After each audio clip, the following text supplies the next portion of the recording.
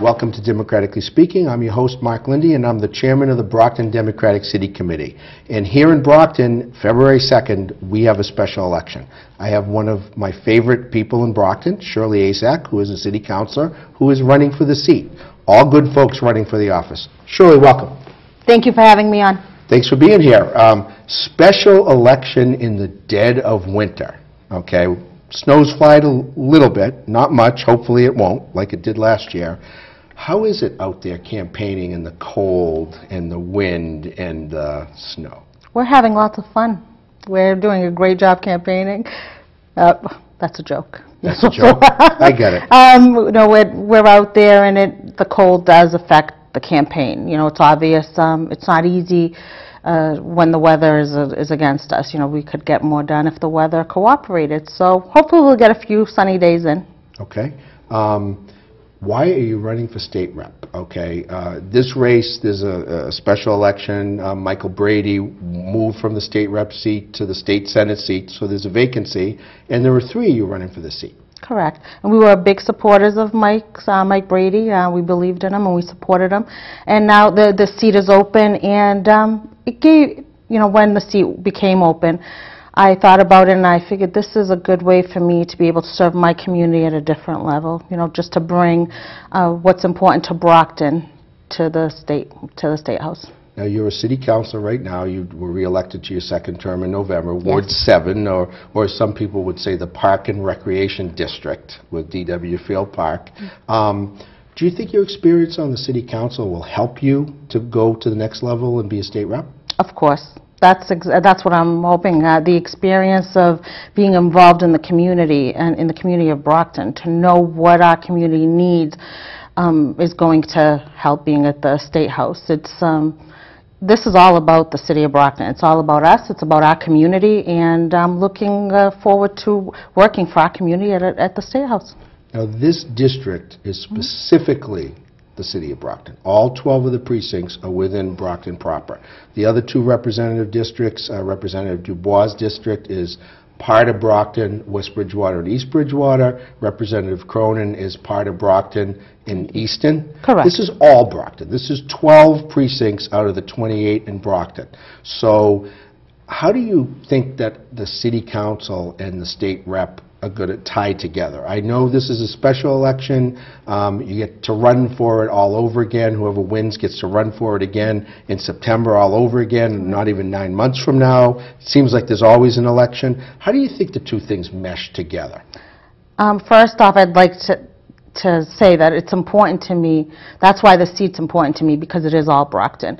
Uh, I call it the heart of Brockton, and that's why I'm, I'm, I really want, I'm working for it, and I'm working hard to get this, because Brockton's important to me.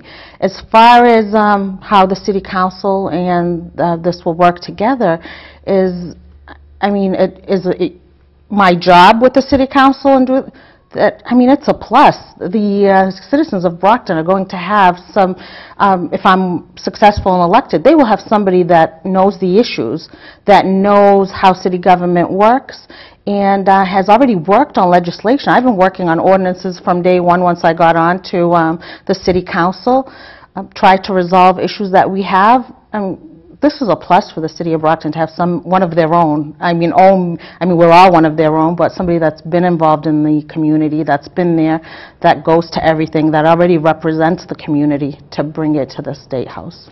Now, let's talk the Shirley Asack story. Tell us some of the voters that may not be familiar with you, because you're running outside of your ward. You're Ward 7. This comprises one precinct in Ward 5, two precincts in Ward 4, three precincts in Ward 3, if I'm not mistaken. Correct. So you're you're you're known throughout the city, but you're more well-known in Ward 7. Um, Talk about your experience, your life history, what gives you unique characteristics and qualifications to be a state rep? Okay. Well, um, that is true. I represent Ward 7, which, uh, you know, is a certain part of the city. But um, I'm a lifelong uh, resident of Brockton, and I've lived in almost every ward except for Ward, I believe, 1 and 4. Okay. I've, throughout my years, I grew up in Ward 6. I've uh, lived in Ward um, 2, 3, and 7. So um, and, and five possibly. So there's just a few wards, but I've lived in a, f- a few of them. So throughout my life in Brockton, I've been involved uh, for many years with whether it was um, as a um, youth group leader, uh, with my uh, church community. I've been involved. Uh, Tell us which church? St. Teresa's Church, very proud of that, on Okay. Main Street. Uh, So I'm very proud of my um, church life. I'm proud of um, my uh, community involvement. And then later, when I uh, had children, got married, I was involved with the school, um, school system. So I've been involved with just about many schools, uh, every one that my kids, my kids have been a few different schools for, because of a program that they're in. So I've been involved, whether it started out at the Kennedy School and continues on to the high school right now. So when my, I was involved with their school when they were at that particular um, school. I was involved with the PACs, with the parents, and um, even with the administrators. Oh, I got to say, you have two of the cutest, nicest kids that I ever met, okay? Well, I'm proud of them. when I them. was lucky enough to pass out spaghetti over at the senior picnic in the summer, your girls were there with flowers for everybody, because that's what you do. Now, what you've been doing, Mm-hmm. okay? You've been a small businesswoman here in the city of Brockton. You have your own florist business. Um, One of the things that might come up, um, there's a couple of debates coming up. I believe I'm going to be a participant in one or more of them. One question would be, full-time mother, state representative, city councilor, business person, how do you juggle all of that? I always think that people have a tough time in life. I, I juggled a few jobs here along the way, but, I mean, being a mom is, is, mm-hmm. is, is, a, is more than a full-time job all by itself. What are your plans if you're successful in this seat? What are you gonna, what are you gonna keep? What are you not gonna keep? How would that all work? Okay. Comment on the senior picnic, one of my favorite events throughout the year when I, I love attending the senior picnic and giving out flowers. So I look, we look forward to that, and so do my kids, and and it's in the middle of the summer. And um, as far as juggling everything, I'm a big believer in the more you do, the more you get done. And um, I, when things go together, they flow nicely. You know, uh, it's an organization of how I organize my personal life. My kids, you know, I'm, I've always been a working mom from day one. I've been working since I was 15 and nine months, and it's never stopped. And um, you know, when you're used to working, you you get the job done, and that's what I hope to do with the state. Um, you know, as a state representative, if I'm successful. The, um, what I, the change would be that I would put my business aside. That I am a small business owner, and that is something that I built from the ground up. I branded it, and it's built an amazing clientele. We're well-known and throughout the city, and we've been very involved in the community as a small business. Um, But that would take a backseat because I feel this is a calling for me. I feel like this is a good way for me to be able to serve my community as a state representative. Um, Let's talk about issues. Well, first of all, before I leave the Shirley Asack story, I didn't know some stuff about you, and I consider myself a pretty educated voter and very involved in politics, but you weren't my city councilor, because I live in Ward 1. Okay? Talk about your background. Talk about your educational background. One thing I learned, um, I mean, I, I, I, I know that you speak more than one language, and in a city like Brockton, as diverse in Bro- as Brockton is, that's helpful. Talk about that. Well, um, I'm a very proud Brocktonian, so I'm a graduate of Brockton High School. You know, I'm a product of Brockton Public Schools. Um, after high school, I chose, uh, well, I believe the decision chose me. I ended up in, uh, I had the opportunity to study, to go to college in Paris, France. So when I went to Paris, I majored in uh, business and uh, in design. And after I, I did five years of um, university out in Paris, and I had the opportunity to work for a magazine, a, a big American magazine called Harper's Bazaar. I was the assistant to the editor in Paris.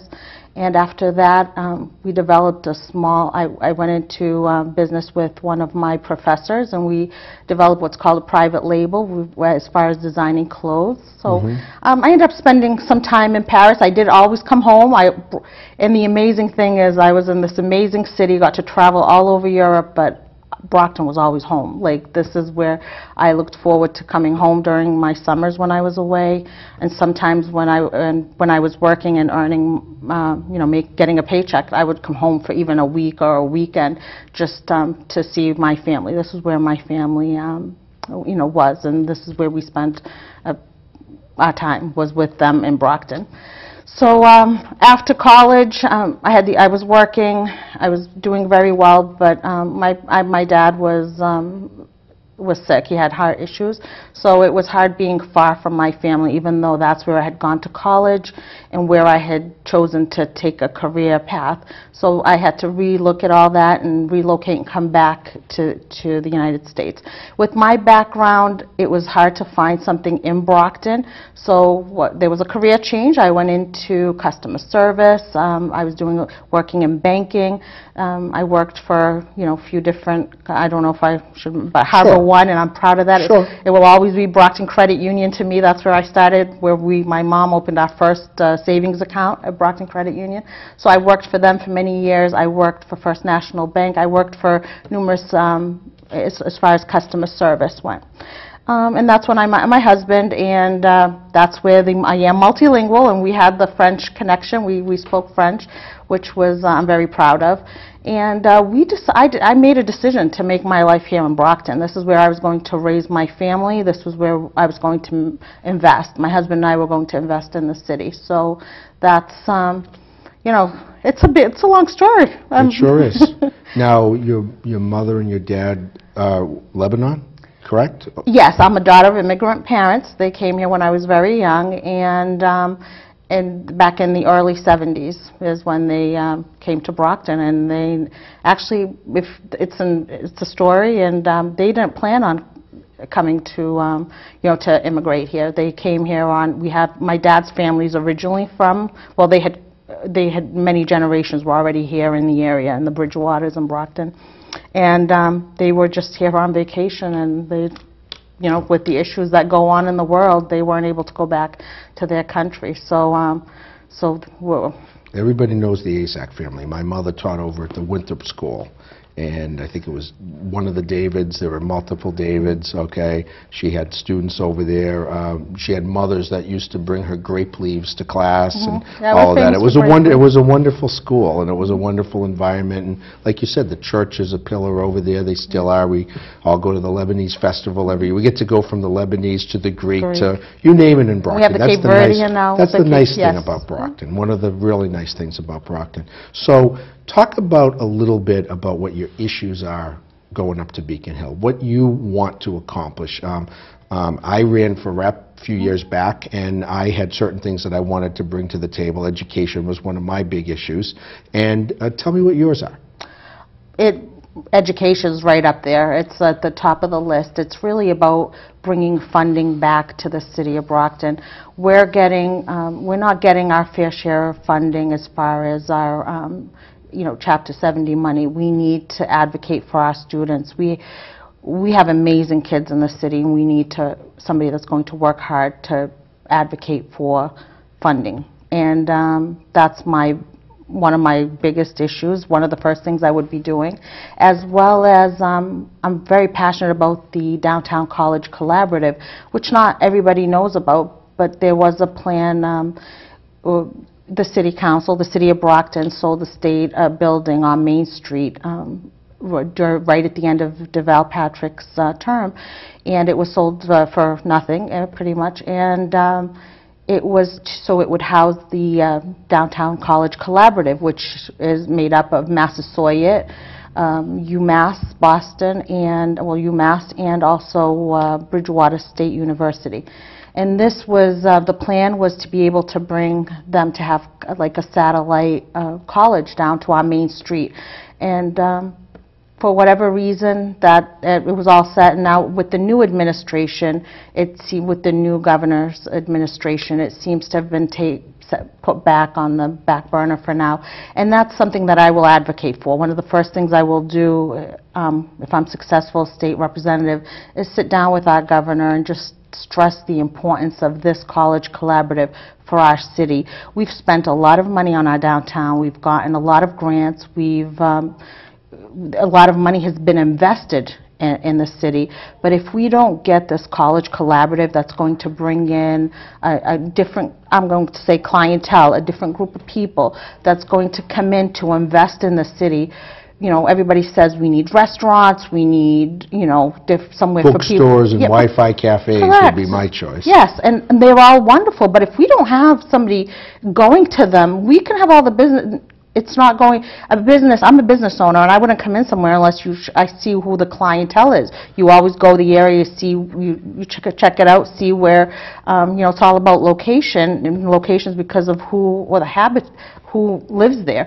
So um, we need to make, bring in a different type of clientele, whether it's students, whether it's profess- professors or other professionals, so it- they go together.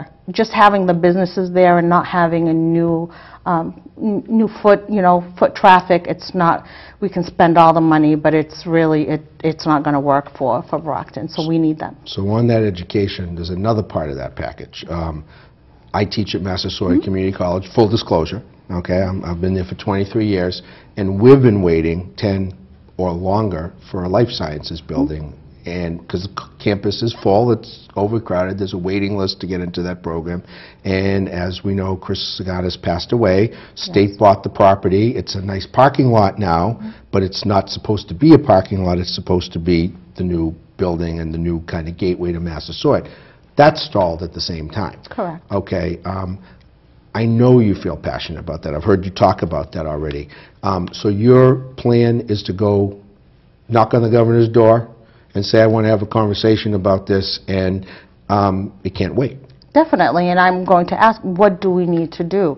What is the reason that it has been put off? And as a community, he needs to understand how important it is to us, because, you know, there's grants, uh, you know, you hear of grants that we've gotten, I believe, you know, we got one yesterday, but it, it, there's no sense in developing if we don't develop this college collaborative. Okay, other issues. Uh, Education is certainly one. Um, You've been dealing as a city council with public safety. Public safety is a huge issue in Brockton. We we have all sorts of things happening. This is a good city, however, bad things happen in the city. What could you do as a state rep to to make sure Brockton gets its fair share, maybe for law enforcement or or public safety? that's where I'm hoping. Public safety is very important, and it and it's um, it's very uh, vast. Like it's you know it's not just police. It it's um, a lot of things that cover public safety. But I would um, work to advocate to see what is available as far as monies, grants that we can bring back to hire more. We need more bodies on the force. We need we need to have cruises for them.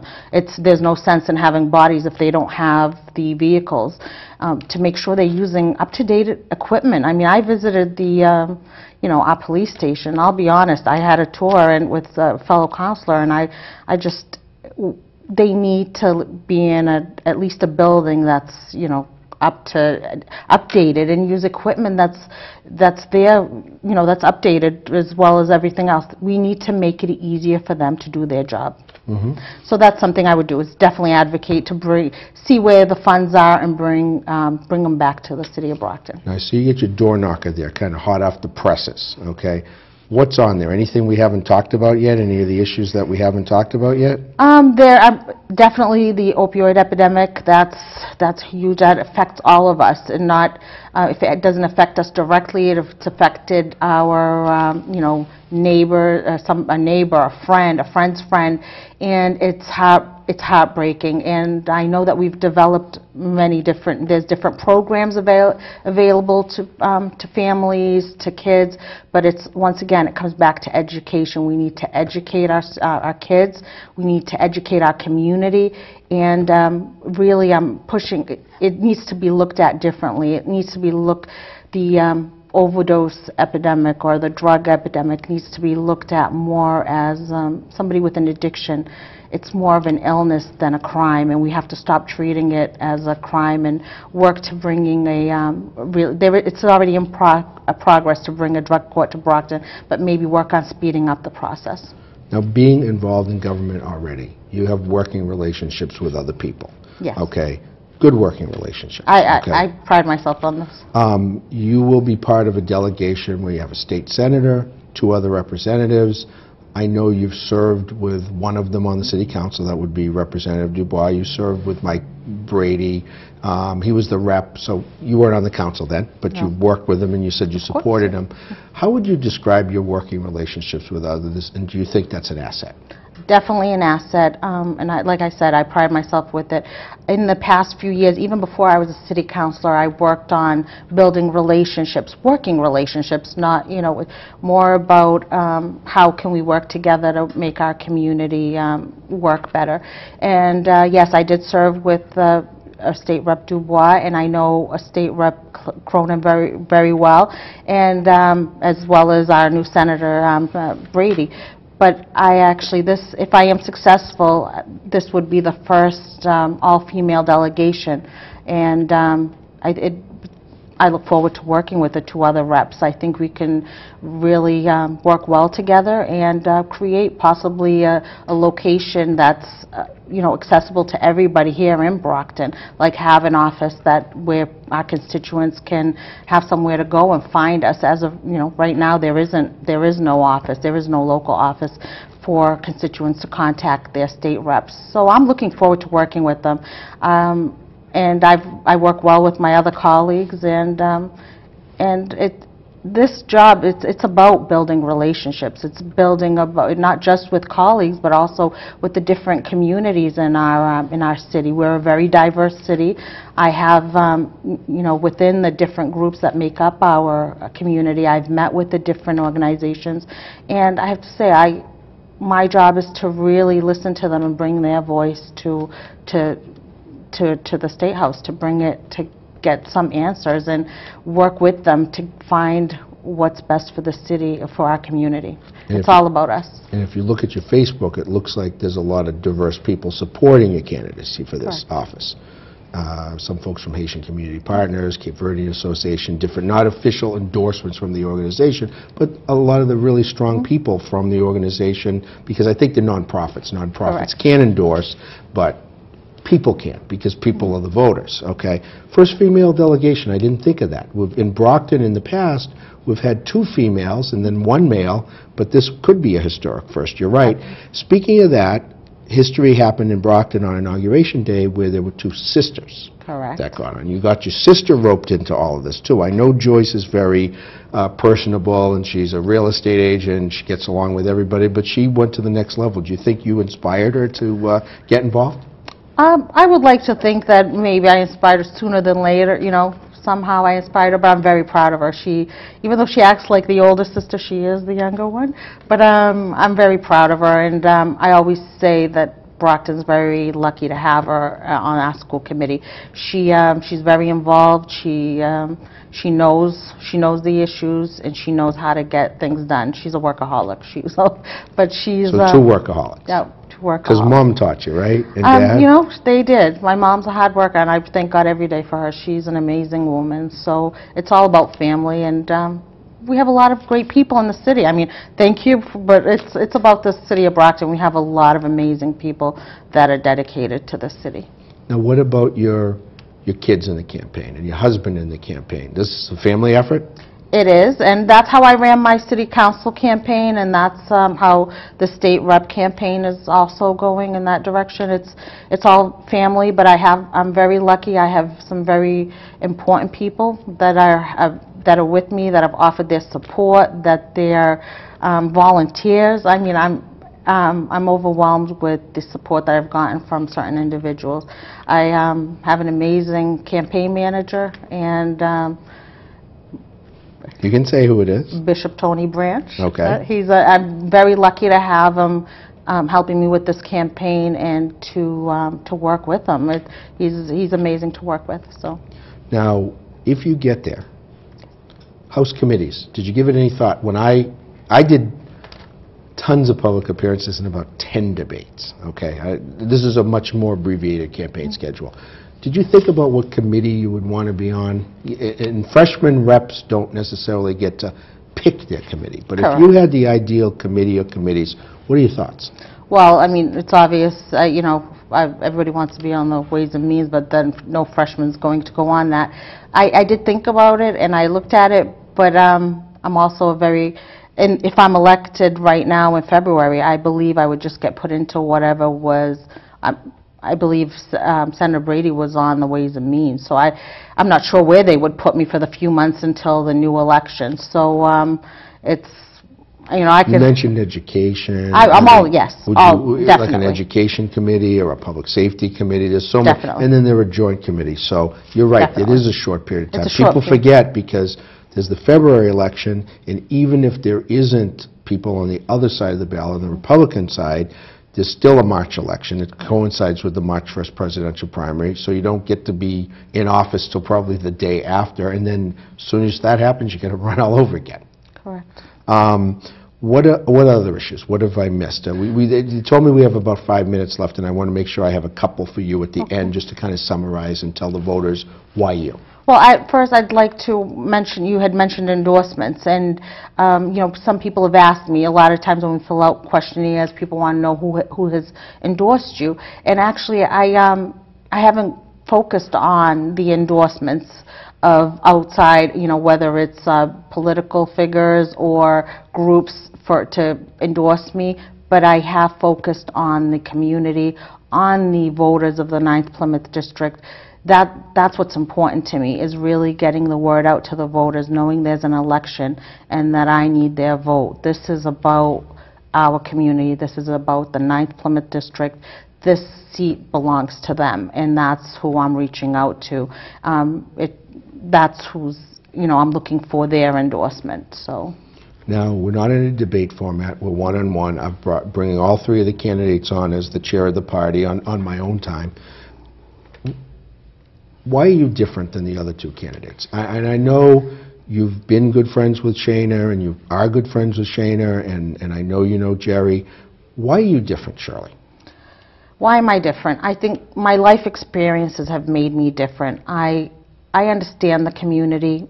I know what Brockton needs. In this campaign, this job is about the community. About, it's about doing what's best for the community. I'm multilingual. I'm a small business owner.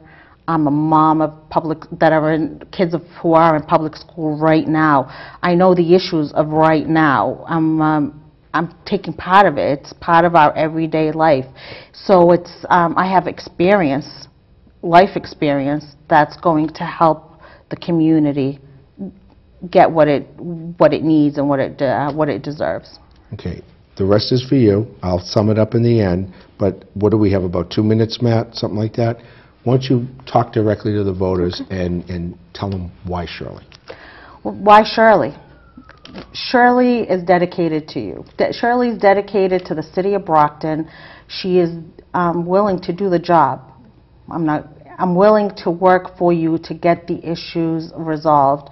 I'm willing to go that extra step to get get what Brockton needs. I'm not there. I'm not going to the state house for for my own personal gain. I'm there to bring back to the city of Brockton, to our community.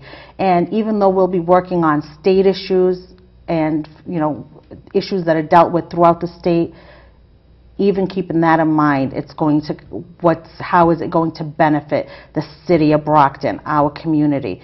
I have no political backing. This is all about the voters of the 9th Plymouth District. We're working hard to get the word out that you have a choice. I need your vote February 2nd. I need you to vote Shirley Asack. I believe I'm the first name on the ballot. I need you to go out and vote. Hopefully, the weather is, um, is good. If not, you know, call us. We'll get you to the, um, we'll get you to the polls. Uh, Find us, and we will help you go and get your vote out there. Real quick, real, Yes. real quick.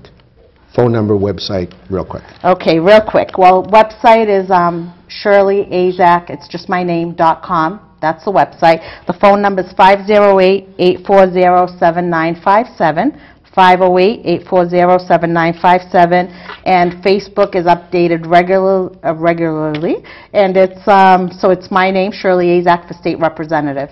Perfect. Thank you. Uh, Thanks for being on, Shirley, and Well, we'll have thank you. back. Well, I look forward to it. Okay. Watching Democratically Speaking, uh, Mark Linde, your host.